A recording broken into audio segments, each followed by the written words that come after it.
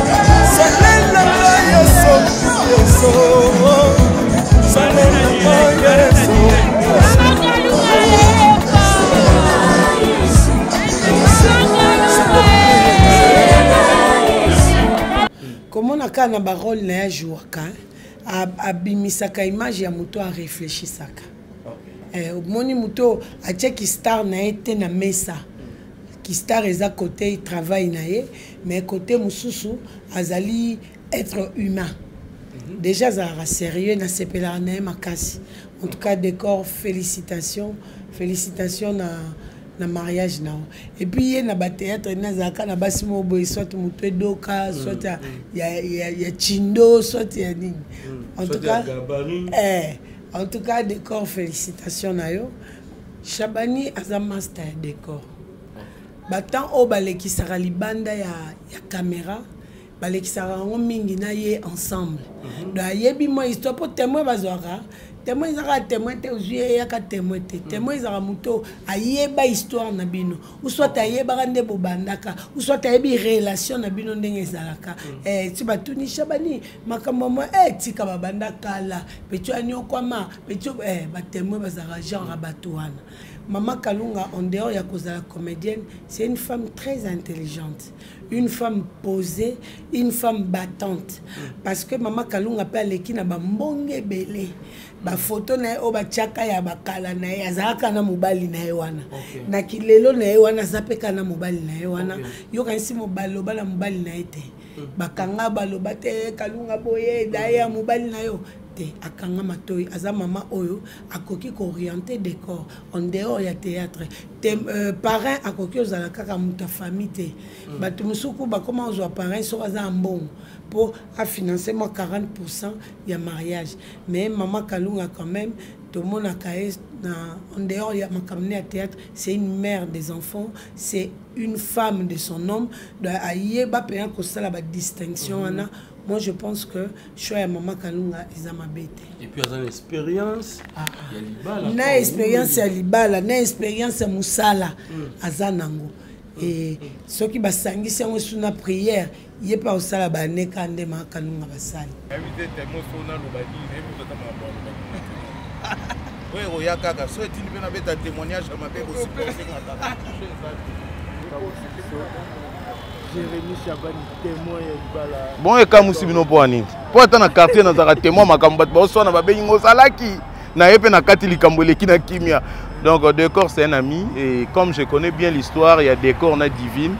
voilà pourquoi atie nga témoin. Mpo soki batunai nga makambo ndenge nazala quand même na eloko ya koloba donc voilà raison oyo mpenza decor atyeli nga témoin eza deux raisons parce que c'est un ami ya banda kala et puis dede parce que je connais l'histoire des décors et divine déjà présence ya bandeko oyo na libala ya ndeko na bango esali ndenge nini esali bien parce que décor euh, c'est pas quelqu'un de conflictuel azalaka conflictuel te mm. wana déjà c'est bon et puis komona bandeko na ye ya théâtre kolanda ye eza malamu parce que bokoma déjà famille bokoma déjà famille parce que bacamarade na biso totanga na bango na baekole ya se wana lelo tokoma lokola bandako tokoma bafamille ba tokoma euh, relation ekoma makasi mingi mpo bopasse temps ebele mm -hmm. na bango ke na ndako mm -hmm. donc eza bien lokola Eh, baye kosoutenir ye normalement il faut bazalaka nde boye mm. bomoko ezalaka bose soutenir parce que motu na motu aza na talent na ye motu na motu aza na jour na ye motu na motu aza na étoile na ye mm. tokoki ojoue nga na role moko yango epesi makambo ya yo epesi te cela ne veut pas dire que eh, nga naboma ye mpo role wana ntango eya ya ya kozwa te mm. te il faut nde bazalaka boye basesoutenaka bato bakosinteresse na bango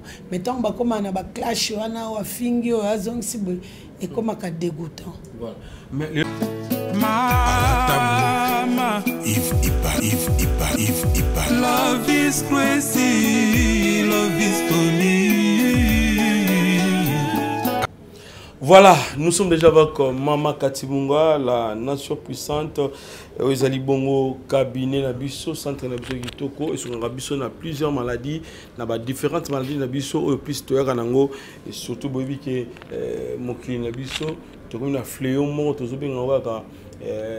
hémorroïde, hémorrochimba, hémorra pemba, ils ont bébé ça vraiment bakino ebele, ils ont bébé ça bakongolais ebele, ils ont bébé ça presque mokili mobimba. alors solution ezali awa na centre na biso la nation puissante avec mama kati munga topesi déjà mboto mama kati boni sante na yo epuis ya nation na biso euh, puissante tobengaka bongo euh, centre na biso plus epai ya mama nati plutôt jali dit comme ça mama kati munga voilà tokobongisa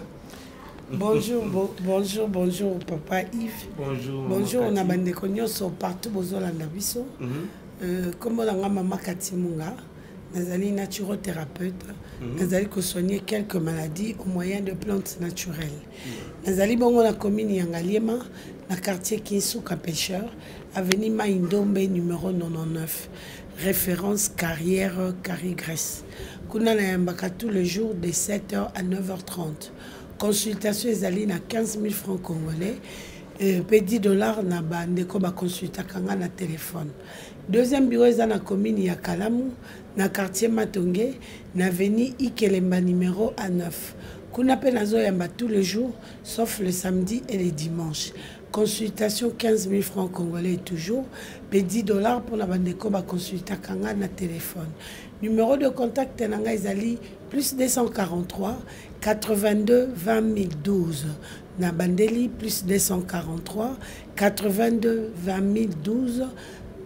Euh, nasengi na bino bosabone massivement na nation puissante télévision boexcuse nga moke mpo na voix parce que mhm. naza na matanga nauti koenterre grand frère na nga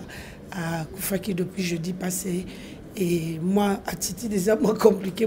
bosupporte nga kaka bongo l'essentiel message elekana voilà tokende directement na bakisi na biso pour que permettre bandeko bien ke ozobela Euh, et puis euh, comme on a déjà ça ça dit déjà beaucoup et puis euh, voilà mais tout le baquet nzambe azalaka na biso c'était c'est va la vie nzambe apesaki azwi mais totikala mpe kosala mosala na biso soki osali boye mpe te bandeko bazobela na bandako bandeko bazala makambo songolo pakala okosunga bango te amakati sunga biso nayoki ndeko moko tobenga nga sika oyo awa sika oyo picasso joli picasso ya pembe donc artiste comédienne aza bongo na mikili ya poto jolie picasso alobi plus na europe eza na baréalité ebele mibali ya europe bakomaka bawaniko kope esili ntango mosusu bakoma okima ne mwasi na ndako alindimi mosala esili nango 16 alingi azonga kaka ba 22 23 parce que lobi euh, mosala ezozela ya kobima 4 heures mais azonga retard wana mpo mare azwa temps te mare aderange na butu te mpo ntango azonga kutika mare deja esalali ye mpe aprofite alani mbala moko système wana mpenza na kini mwa ebele eyebi te sunga biso na bakisi epi tokokende na bakestion na biso wana ok na bakisi na, na explikaka to na répondre na question na bakisi na biso naza awa na kisi ya hémorroïde hémorroïde interne tout comme externe hmm. mingi mingi tosalelaka tanga bio omeli yango pendant 5 jours oye kozwa sipokate outilize yango mpe pendant 5 jours eza ya kobaka eh? moko na ntongo moko na pokwa 5 hmm. jours soki omeli yango oye kotongola f2 eza ya kotongola bouteille moko na ntongo atiede moko lisusu na ntongo lokola deux jours ya purge soki osilisi nango oya komela sukisa sukisa eza trois bouteille emelamaka demi na ntongo demi na pokwa pendant trois jours soki osilisi nango mpona koclotire nde oye kotongola sembola sembola mpe eza ya kotongola mai demi bouteille par jour donc deux bouteille ezosala yo purge ya 4 jours mais en dehors de ça toza na tetanga mhm. na voir clair tetanga na voir clair tout à l'heure kutu nakotinda mhm. témoignage ya video okay. eh, mpo na mwana mwasi oyo asalelaki tetanga mm. na, na, na pirito okay. donc euh, azali na problème ya infection na sinusite okay. uh, ye témoignage na ye mpenza eza ya video et puis papa na ngai angolais orgagivo aza na angleterre ye aza na problème ya barin mais ye euh, témoignage na eza na voice azalaki na problème ya barin depuis euh, na, vers la fin ya baconfinement mm. sikoyo akomi bien il fallait aleka na dialyse mais grâce ya consommation ya tetanga aza lisu na problème ya dialyse te akomi komela na ye kaka tetanga et ça lui a fait du bien ye voice na ye tokotiapa ye parce que wana eza voice ya mwana wana ezali euh, video donc tetanga ezosoigne bamaladi ebele maladi lokola tension euh, sucre goutte nerf sciatique hernie discale bandeko bazo souffrir na ba problème ya ba euh, respiration bato baza na problème ya apnée du sommeil bato baza na problème ya anxiété mot de tête intense insomnie misu molili misu mokosa vision ezo ozoyoka lokola mabele na kati bato baza na baproblème ya bacalcul renon en tout cas tete yanga eza wana mpona kosunga bino bohésite te eh, bato ya miso flou basalela avoir clair okay. mais mélange ya voir clair na tete yanga ezosoigne na miso na motu okay. eh. mm. hey, eh, kisi olingi yo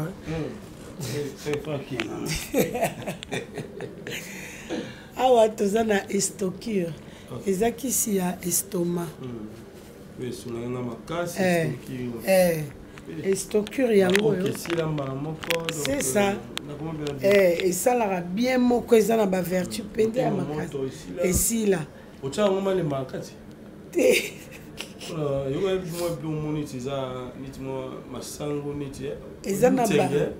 eza na ba bafei nango malemba avekoma malemba ezalaka eh. Eh, eza na babiloko nango moko boye ezalaka lokola bagraine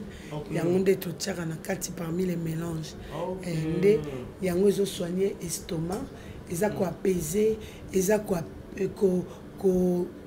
kobotisa kushe wana eza koelimine brillure na baoke okay.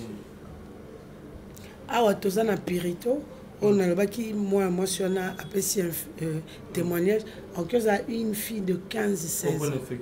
eh, mpo na infection urinaire infection staphylocoque euh, na maladie gonocoxie syphilis même bato bazala na baproblème ya bavaricocele parmi les traitements pirito eza na kati oyo esungaka bandeko mpona kozonga en bonne santé yo moto ozoyoka makwanza mai ya solo ezobima yo na intimité makwanza ezobima yo na intimité babibon na mapeka na lisu mokosa na nzoto Euh, bas ventre ezosala yo mpasi pendant le rapport sexuel yebaki eza basigne ya infection masuba na yo eza solo makasi epuis eza couleur makasi eza basymptome ya infection awa ah, sikoyo toza na kobota ya basi na ya mibali nalinga piero mpo aklasaka bien mpenza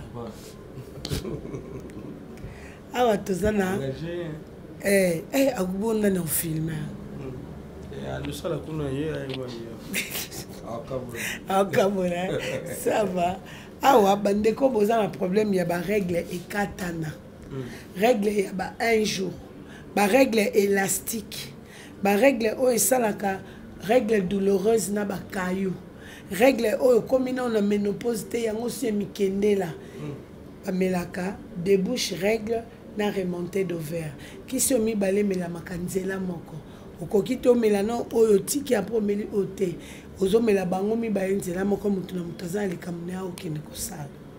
Soki osilisi awa et que oza na problème ya ba trompe bouche okoya kozwa bandeko ba trompe boucha toza na debouche trompe oyo ekosunga yo mpona koretablir ba trompe na yo ekoma perméable parce que ce qui terme euh, médical elobi eza imperméable ça veut dire que boucha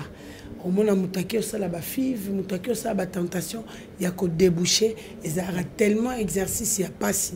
omona moto asali mbamo asali mba mibale après akoki te atiki mais awa toza nango kaka ya komela ozomela na yo omona batrompe na yo ekodebouche en dehors de ça bandeko ba, ba matrice ekoma malili mm. oyo ozosala bafausse couche pamba pamba ozokoka kokanga zemi te papa azoyoka yo chaleur te nzoto eza malili lokola na congélateur chauffe matrice yango oyo yango nde ekopermettre soki matrice eza moto semence evanda bahormone ekota mpo epesa makasi ya komema zemi jusqu'à terme awa toza na eboteli ya bapapa mm. ba papa na nga bino bato boza na problème ya sperme sperme ekota problème sperme eza mai mai sperme ezali euh, sans motilité progressive ezanga vitalité ezanga concentration traitement na bino yango toza na vitalité a vitalité b vitalité c ensemble ya bavitalité oyo nde ezobongisa sperme ya papa mais avant tout il faut kobanda nano na pirito soki outi na pirito nde oye kozwa traitement oyo pendant 3 mois okoremarke que basperme na yo echange forme echange couleur ebakisi quantité ekomi gluant neti cracha esperme ya bongo nde ekoki kobotisa mwasi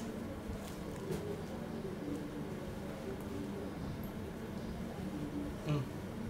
ah, tozali na mwamba papa osukisi hmm, mwamba papa mpe esukaka yango hmm. plante ezomonana te eh. hmm. oyo eza ya moto ezoya kozwa na bandeko bokomandaki bamwamba papa bozala na mwa patience moke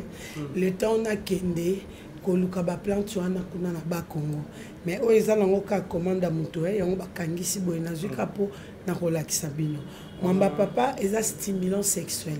etraitaka maladi moko te ezoya juste kopesa o coup de pouce dans ce cas soki oza maladi yaka salela mwamba papa okozwa euh, efficacité papa na ngai moko ya diabétique ye mpe atindi témoignage na ye okay. docteur na ye moto arekomandaki ye mwamba papa apesi ye numero na nga apesi adresse alobi mpo na ka na yo mm. alire oyo stimule ezorépondre lisusu te mm. kende nano numero yango benga mama moko c'est une femme benga mama moko azali euh, aza asoignaka na bokoko o oh, médecin mais moi tu sais habite mm. bato oyo natindi kuna bapesi suite ya bia seke na yo mpe ekosimba nde papa wana atindelaki nga voice mpona kofélicite nga na mwamba papa oyo asombaki le mwamba papa bopikiliki assure voilà wana bacollègue no badepute eh. areserve déjà eh, bareserve déjà eza ya moto ezokende chine hmm. awa toza na repousse cheveux hmm. bandeko ya mabandi bandeko ya motu polele soki ekatanaka katanaka soki ekolaka te bosala neti nga nakoma ya mwa suki na ngai yango nakoma bisalasala natika kitambala mbunju ekoma polele parce que suki na nga eboti mm. awa tozali na euh, huile de coco huile de coco oyo ezali mpona bandeko baza na banduta naturel hein? oboti nzoto ese dilate oye monene nzoto ese dilate ozopakola yango non seulement c'est nutritive pour la peau ça raffermit ça rajeunit ça fait respirer le corps et puis bandeko bazala maboko makasi makolo makasi yango esungaka mpona bamaladi wana je crois que en long et en large nalobi par rapport ya, ya traitement ah. awa toza na zero nduta bandeko batya coko nzoto mposo nzoto ebeba ebeta yo batampon ebimisa yo banduta partout yaka kozwa zero nduta okomona amélioration na kote ya mpona oyo eza mpona baoyo eza naturel to eza bato ya coko boye eza na bato batya coko nduta ebima hmm. na bato babima nduta kaka parceke aye monene wana esilaka te eh, sikoyo mpo esila hmm. il faut ozwa otika choko okoma kaka kopakola kisi na mafuta hmm. normal me bango sikoyo balinga bongo te bamona aoyinda hmm, asangisa na choko na nani soyebi ndutu esili te wana eza problème na nga te wana ekomi problème na yo moko awa eh, ah, toza na beurre de carité bato bazalaka na allergie de la peau bosalela beurre de carité mpo na kopakola na maboko mpo na kopakola na makolo ça protège et puis ça adoucit la peau donc euh, voilà un peu en général bakisi oyo toza nango na maison chez voilà en tout cas merci beaucoup mama kati euh, tozolinga tobeta mwa mbela par rapport ya question na tunaki yo awa eza na bandeko ebele mabala ezokufa parce que basi mosusu aza na besoin mobali na ye mais mobali aza forme te na moment wana akomokima mwasi biso mpe mpe mwasi aza na besoin bazala mpenza na mobali na ye mais soki mobali ayei kaka quartier 1 akimi na ye quartier 1 alali atiki ka versement epuis ndenge akolalela ko ondie azosala footing soki wapi ondie babetaki ye donc alali ti tongo na position wana kaka voilà ebi te en fait nini ezotraine babiloko nyonso tout oyo euh, ezosala ke mabala epanzana esala ke lelo basi bakoma na fidélité makasi boye po basi bakoma oleka na mibali na fidélité makasi hmm. en tout cas ya liboso ezali bandeko mibali ifo boyebaka komela mai hmm. mai ifo komelaka mai régulièrement yango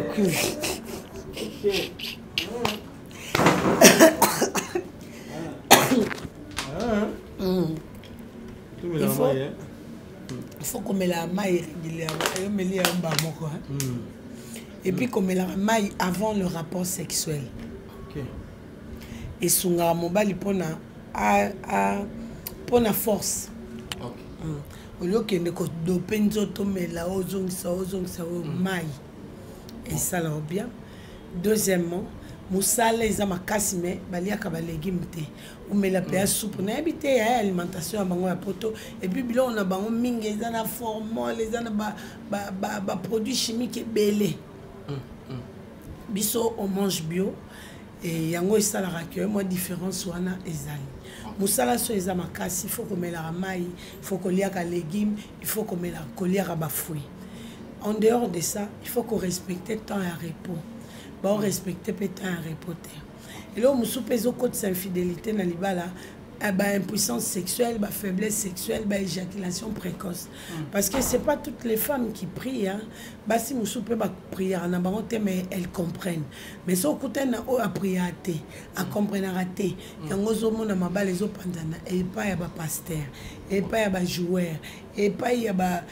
ya ba comédien epa ya ba musicien donc kopanzana ya mabala eza na ba domaine nyonso ya vie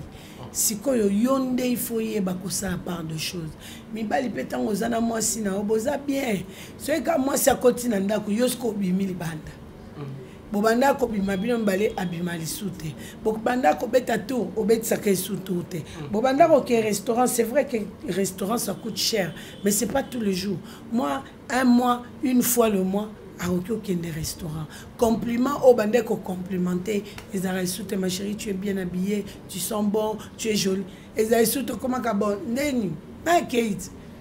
na soir eh? mwasi na yo yaya olaka ye lokwa camarade lokwa garçon changela mbongo na coin hmm. ezalaka te il faut mobali ozala attentionné na mwasi na yo nous les femmes on, on aime être euh, tolingaka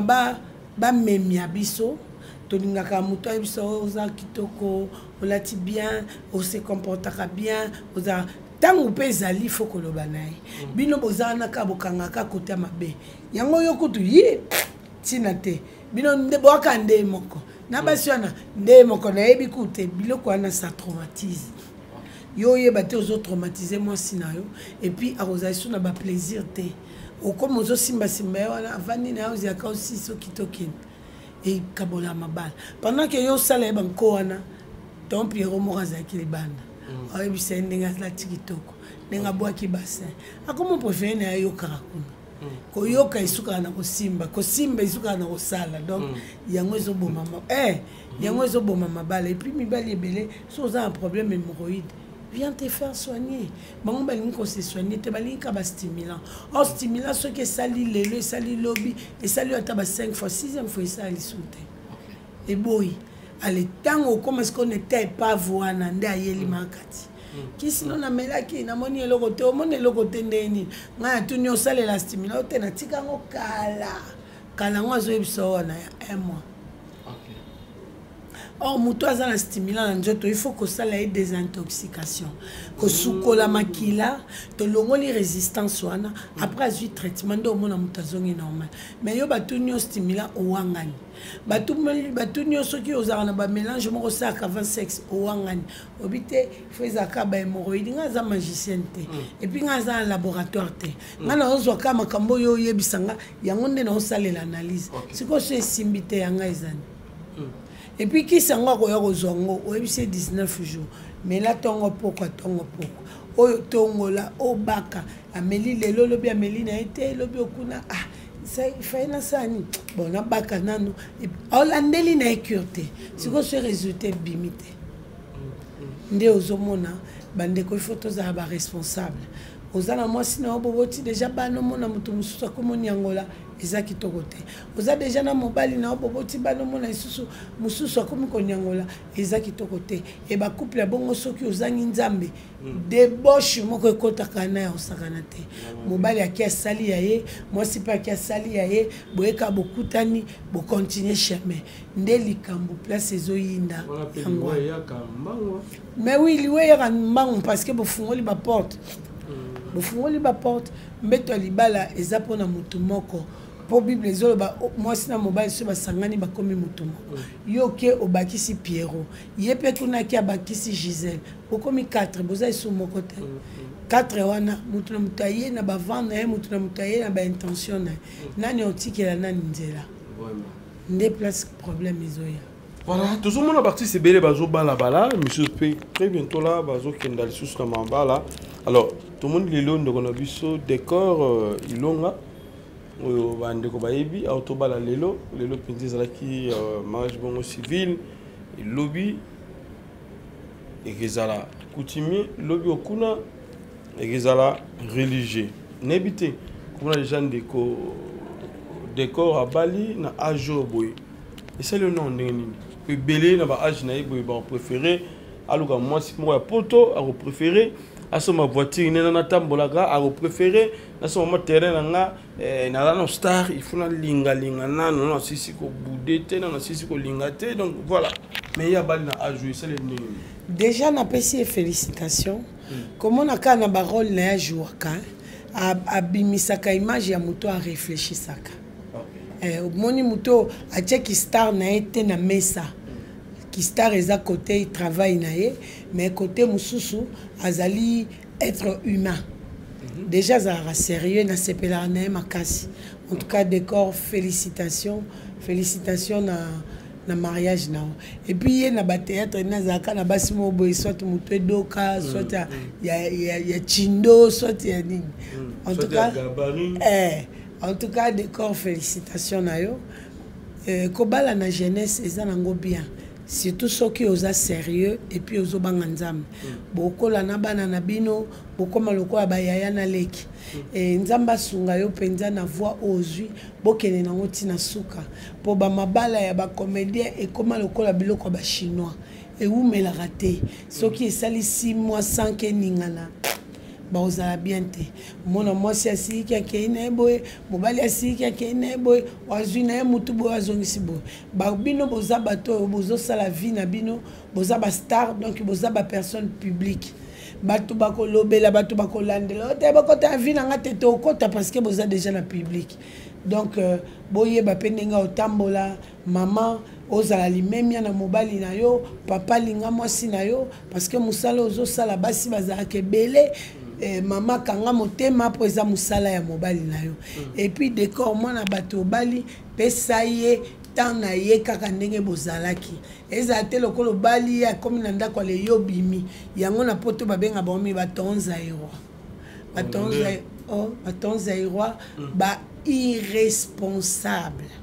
na sens nini mm. abali ndenge mondele apesaka ka mbongo ya bana wana ye biki na ye ekota te somba mm. biki te kado papa apesa bana apesa te epuis bazala na ndako te baza kaka na banganda bavlaka na banganda azonga ndako retard mwasi banda ayaki amoni mobali na ye te alingi apesa ata rapport ya journée tala chef kuna makambo asali tana aza te mboka wana eza mboka ya stress motu na motu na ndako na ye soki asololi na mobali na ye te aosola na nani yo prefe ovanda no na bamaster bovandi na bino soki na chateau rouge soki epa jonga mm. ozolia bino taba ayoka ndule na ye ale moninga avandi ye alambeli yo asaleli yo boye azongiseli yo boye eza bien te bamabala ezokufa lelo bozokondane ka basi bazobengana mibali na ndako basi bacongolaise baserie te bongo makambo oyo baton congolais basalaka basi wana est ce que boverifia yango la plupart bazalaka mpe en tort mais amitieka na ego na ye ya kimobali aosenga pardon te apeti so aboya die ozomona yango bamabale ekufa oke ozwa ndoki oke ozwa mwasi ya misala mabe lobi mpe créer lo baproblème mm. c'est risqué tout ça voilà. eh, komona présence ya bandeko lokola mama joli kalunga euh, jérémi chabani euh, belvi kandi euh, mimi kabongo euh, omari kabongo Euh, ndeko lisusu nani marina laba euh, bandeko bazalaki ebele vraiment bacomédien bayaki wana mpona kosoutenir ndeko na bango en fait komona bandeko wana nyonso tu eyenga bazalaki mwa ebele wana eseno ndenge nini bayaki kosoutenir ndeko na bango surtout plus na likambo ya libala mpo ebele bazozela coutumier mais barespecte néanmoins euh, une forme ezalaki teni euh, oyo basengaki balata wana nayebi te komona déjà présence ya bandeko oyo na libala ya ndeko na bango esali ndenge nini esali bien parce que décor euh, c'est pas quelqu'un de conflictuel azalaka conflictuel te mm. wana déjà c'est bon et puis komona bandeko na ye ya théâtre kolanda ye eza malamu parce que bokoma déjà famille bokoma déjà famille parce que ba camarade na biso totangana na bango na baekole ya se wana lelo tokóma lokola bandako tokóma bafamille ba tokóma euh, relation ekóma makasi mingi mpo bopasse temps ebele mm -hmm. na bango ke na ndako mm -hmm. donc eza bien lokola eh, baye kosoutenir ye normalement il faut bazalaka nde boye mm. bomoko ezalaka bose soutenir parce que motu na motu aza na talent na ye motu na motu aza na jour na ye moto na moto aza na etoile na ye mm. tokoki ojoue nga na role moko yango epesi makambo ya yo epesi te cela ne veut pas dire que eh, nga naboma ye mpo role wana ntango eya ya ya kozwa te mm. te il faut nde bazalaka boye mm. basesoutenaka bato bakosinteresse na bango mai ntango bakomaka na baclash wana oyo afingi oyo azongisi boye ekomaka dégoûtant lelo batie jérémi témoin jérémi chabani témoin libala bandeko mosusu batuni biso na baquestion wana tomoni mama kalunga akotisi ndeko decor na mobali na ye epai est ce que bango bazali baparrain ya libala to baza bamarraine nayebi te komona déjà parrain na marraine ya libala bakotisi bandeko na baza kaka bacomédien eza ye bon choix ou bien ndenge nini chabani azala témoin ya libala ya ndeko decor na femme na ye chabani aza master ya decor ba temps oyo balekisaka libanda ya, ya camera balekisaka yango mingi na ye ensemble mm -hmm. donc ayebi mwa histoire mpo témoin bazwaka témoin ezaka témoin te ozwi ye eyaka témoin te mm. témoin ezaka moto ayeba histoire na bino uswat ayebaka nde bobandaka uswat ayebi relation na bino ndenge ezalaka mm. eh, ti batuni shabani makambo mwa e eh, tika babanda kala petio aniokwama petio eh, batémoin bazalaka genre ya bato wana je parie que shabani aza genre ya bato wana oyo ayebaka couple wana déjà sikoyo komona mama kalunga na mobali na ye kokotisa ye mama kalunga en dehors ya kozala comédienne c'est une femme très intelligente une femme posée une femme battante parce que mama kalunga mpe aleki na bambonge ebele bafoto na ye oyo batiaka ya bakala na ye azalaka na mobali na ye wana okay. na kilelo na ye wana aza mpe kaka na mobali na ye wana okay. yokanisi mobaloba na mobali na ye te mm. bakanga baloba te kalunga boye daye ya mobali na yo te akanga matoi aza mama oyo akoki kooriente décor en dehors ya théâtre te euh, parrain akoki ozala kaka moto ya famille te mm. bato mosuku bakoma kozwa parrain soki aza ya mbongo mpo afinance mwa 40 pourcent ya mariage mais mama kalunga quand même tomonaka ye na en dehors ya makambo ne ya théâtre c'est une mère des enfants c'est une femme de son homme donc ayeba mpenza kosala badistinction wana mm -hmm. moi je pense que choix ya mama kalunga eza mabe te epuis aza na expérience ah, ah. ya libala na expérience ya libala na expérience ya mosala hmm. aza nango e soki basangisi yango esu na prière ye mpe akosala baneka nde makanunga basali ah, ça c'est bien en tout cas je crois bien bandeko botunaki biso baquestion boyoki euh, réponse ya mama kati alors euh, choix ya baparrain to mpe marraine ya libala mm. olingaka kaka bato baa na mbongo kaka te voilà bolandaka biloko wana te bomisa bato ebele olandika motu moko na mbongo ye nde avec ye masolo ezala kitoko na kosala mariage na na, na, na, na, na, na immeuble moko boye na motuka moko boye ya cher nakokende na bato tout ça mais et après bana boluki baoya te ntango mosusu eh. parrain ntango mosusu eh. marraine asali bino baventure wana okoluka makambo mosusu belibala ekabwani okomona mpe ka ye wana parrain akomi olanda mwasi no oh, oyo ye pembeni babasi ya bafuel na bango makasi donc parrain avant ya kozwa ye soki mpo na mbongo boyeba source eh, azweli yango ndenge nini mpo akoki osacrifie mpe mabota hmm. akoki omemela bino mpe esprit ya divorce eh, mais mama kalunga vraiment tomoni bapreuve na ye ezotémoigne akoki ozala parrain mhm. donc eza un problème te marraine plutôt eh. oui merci mama kasi tokomi na suka liloba et surtout ke euh, ozali Euh, candidat député national na lukunga kuna liloba na bandeko baotala biso epuis mama kalunga mpe azali moko ya baye batie na ngambo ya moamba euh, mama na biso euh, ani biasibiasi président elombe sukari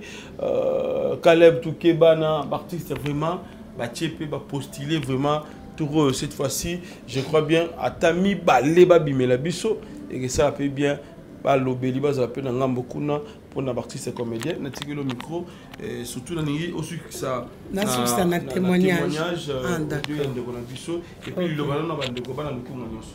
liloba na ngai ya suka ezali ngai mama kati munga mwanda nazali candidate depute na lukunga nasengi na bino bandeko basi mibali bovotenga massivement mpo nazala molobeli na bino na parlement Euh, nazali vote utile oyo ekoki komema mopepe ya sika mpo namema deja mopepe ya sika na kisi ya bokoko mwasi oyo atelema liboso ya mibali liboso ya basi mpo na kolobela na ntina ya bakisi mpe bato bamela bamona makambo na bango pendant ke ebele mpe babebisa reputation ya kisi ya bokoko différence mpenza kote wana ezali makasi donc vote utile ezali mama katimunga na circonscription ya lukunga et puis merci euh, na bandeko balandi nyonso oyo bozwaka temps na bino ya kolanda biso toleki bino na mayele te mwa ndambo kaka oyo tozalaka nango yango toyaka kopartage na bino mpona ensemble epesa eloko moko ya bien en dehors de ça euh, numéro de contact na ngai ezali plus 243 82 2012 nasengi na bino abonnement massive na nation puissante télévision epuis mpona kosukisa nazotia témoignage ya papa na ngai oyo azalaki na problème ya barin kuna na angleterre papa orgigavu aza angolais pour vous dire que produit oyo kaka ba congolais te nde ba consommaka produit ekoma kokende partout yango nazalaka mingi mingi na besoin ya soutien na bino mpona nazoteka drapeau ya mboka auprès de consommateur bosabone massivement bopartage bo aime surtout surtout partage nazotia témoignage ya ndeko na nga boyoka eloko nini tetanga esali na vi na ye Ah, bonjour Maman Cathy. Eh, Maman Cathy, merci vraiment pour na te na yo oyo otindelaki ngai nazwaki donc nazomela yango ezosunga ngai mpo ezosunga ngai na barin donc amélioration ezokota petit à petit donc yango na ngai nasali mwa voice oyo mpo na remercier yo mpo na te wana nzambe apambola yo ya mingi apambola yo merci beaucoup bonne journée merci ah je crois que bolandi témoignage ya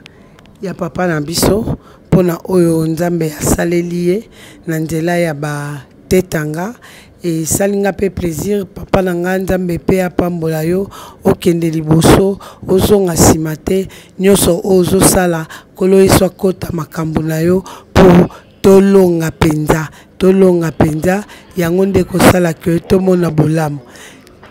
Euh, ndenge toutaki kolobela au sujet ya makambo ya hémorroïde nayebisaka bino awa ezalaka pièce contre pièce nasalaka te mpo naya kosevante nayaka kaka kovante mosala na nga bozolanda mpe témoignage ya papa na ngai oyo azali cadre monene kuna na france na cabinet ya macron akonsomaki euh, cure ya hémorroïde boyoka témoignage na ye